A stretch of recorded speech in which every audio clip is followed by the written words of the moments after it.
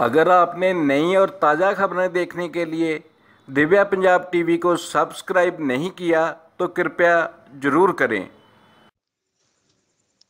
उपचुनाव के चलते चुनावी मैदान में उतरे उम्मीदवारों की तरफ़ से यहाँ वोटरों को अपने अपने वादों से अपनी पार्टी की तरफ़ वोट डालने की अपील की जा रही है। वहीं उम्मीदवारों की तरफ़ से धार्मिक स्थलों पर पहुंचकर आशीर्वाद भी लिया जा रहा है। वहीं कांग्रेसी उम्मीदवार सुनील जाखड़ आज कस्बा धारीवाल में चर्च में प्रार्थना करने पहुँचे और वहीं अपने चुनावी मुद्दों पर बातचीत करते हुए सुनील जाखड़ ने कहा कि वह इस चुनाव में गुरदासपुर में मुख्य तौर बेरोजगारी को दूर करके इस इलाके में इंडस्ट्री को प्रफुल्लित करने और किसानों की मुश्किलों को दूर करने के मुद्दों पर चुनावी मैदान में है। वहीं जाखड़ ने कहा कि ये जिला गुरदासपुर और पठानकोट दोनों सरहदी ज़िले हैं और इन जिलों का विकास नहीं हुआ है और वह विकास के मुद्दे को लेकर भी लोगों से वोट की अपील कर रहे हैं।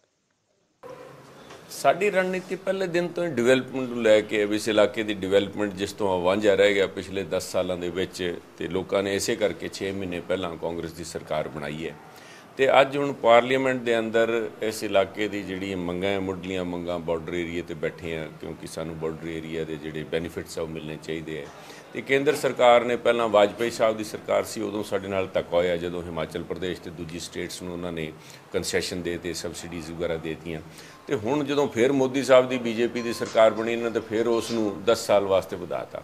ਜਦੋਂ ਤਾਈਂ ਇੱਥੇ ਸਾਡੇ ਏਰੀਆ ਦੇ ਅੰਦਰ ਇੰਡਸਟਰੀ ਨਹੀਂ ਲੱਗਦੀ, ਸਾਡੇ ਬੱਚਿਆਂ ਦੇ ਰੋਜ਼ਗਾਰ ਦਾ ਬਹੁਤ ਵੱਡਾ ਮੁੱਦਾ ਹੈ। ਸਾਡੇ ਇੱਥੇ ਬੈਕਵਰਡਨੈਸ ਦਾ ਜਿਹੜਾ ਮੁੱਦਾ ਹੈ ਸਟੇਟ ਲੈਵਲ ਤੇ ਕੈਪਟਨ ਸਾਹਿਬ ਦੀ ਸਰਕਾਰ ਵਚਨਬੱਧ ਹੈ, ਅਸੀਂ 4.5 ਸਾਲ ਸਾਡੇ ਕੋਲ ਲੋਕਾਂ ਦੀ ਸੇਵਾ ਕਰਨ ਦੇ ਪਏ ਹੈ, ਅਸੀਂ ਕਰਾਂਗੇ।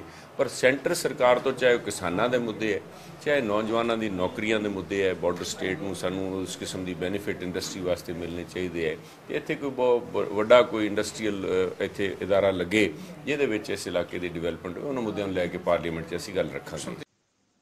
अक्षय भाटिया दिव्य पंजाब टीवी बटाला।